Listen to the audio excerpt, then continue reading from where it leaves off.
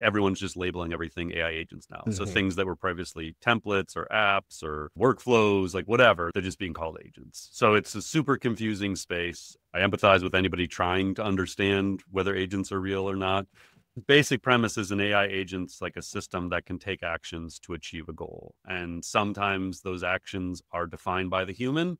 There's rules given to this agent to do something, but oftentimes there's some element of it that it chooses its own path. There's an ability for it to write its own rules and figure out a direction. So the example I like to give is deep research. OpenAI or Google both have their deep research product.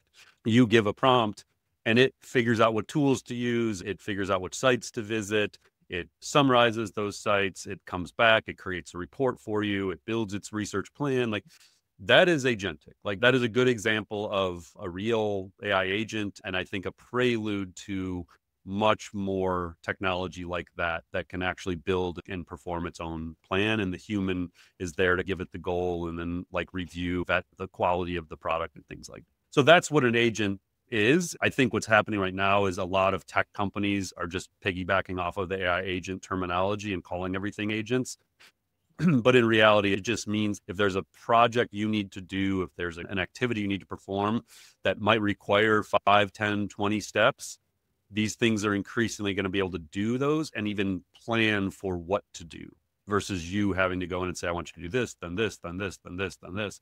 That's just automation. Like if you can, if you just go in and define the 10 steps and then, you know, set up through Make or Zapier or whatever, like a way to do it, that's just automating something. Yeah. With an AI agent, there's some level of intelligence happening. There's the thing that's doing some planning or decisioning on its own and then creating the output. So it's confusing, but it basically just means there's a series of actions that are taken by the AI system to achieve an outcome or a goal.